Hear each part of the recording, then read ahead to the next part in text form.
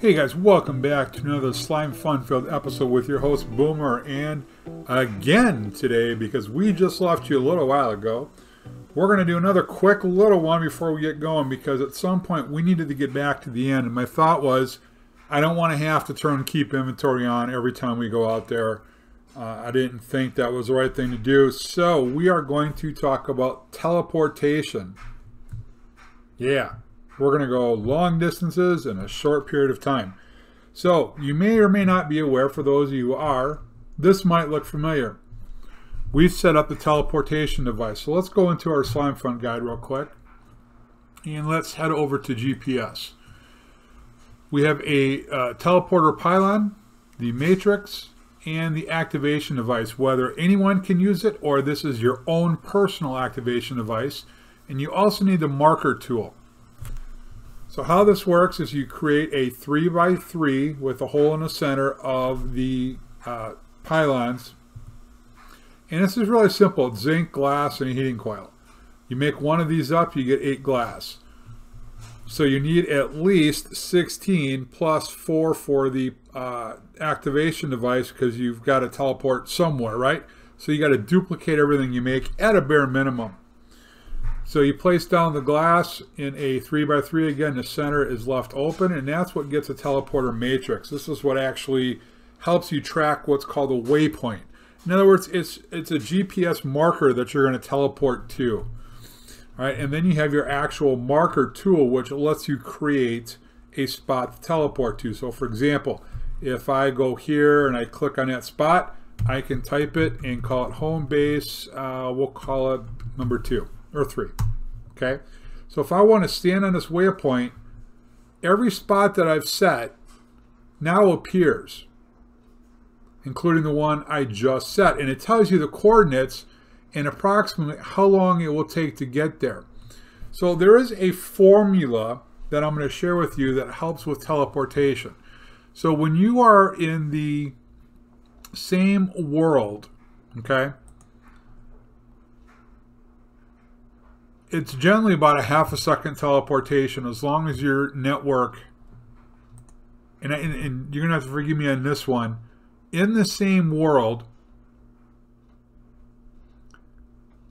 yeah, in the same world, I believe that the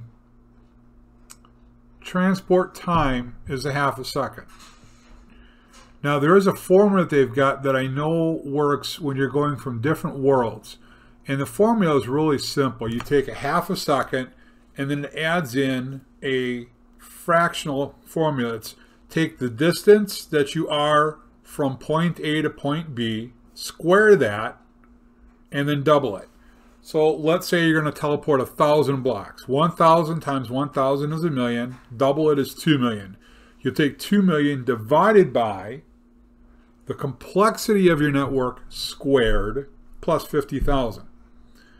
So if your complexity, let's say, is at 4,000, you're going to square that. It gives you 1.6 million plus 50,000. So you have 1.6 million, 50,000.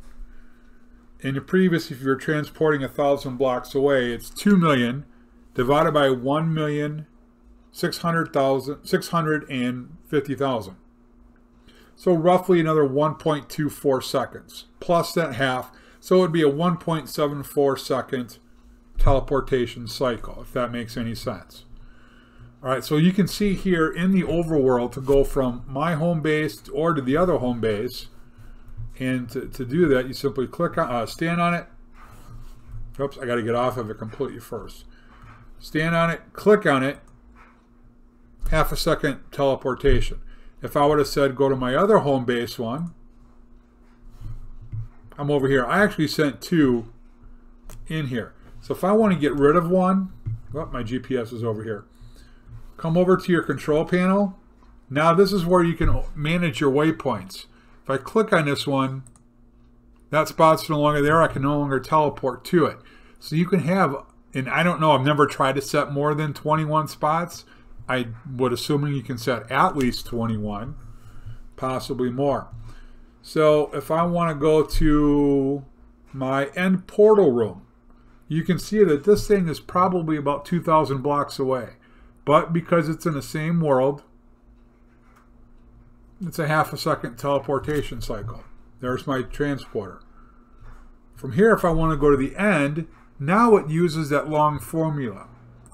So if I want to go to where the Ender Dragon area is, which is where I've set this to, this is going to be about a 12 minute cycle. If I want to speed this up, I have to increase the complexity of my GPS network. Here we go. Now we teleported up here. My room is actually down here. And there's my pylon. So again, if I want to teleport back home, I simply would click on the home.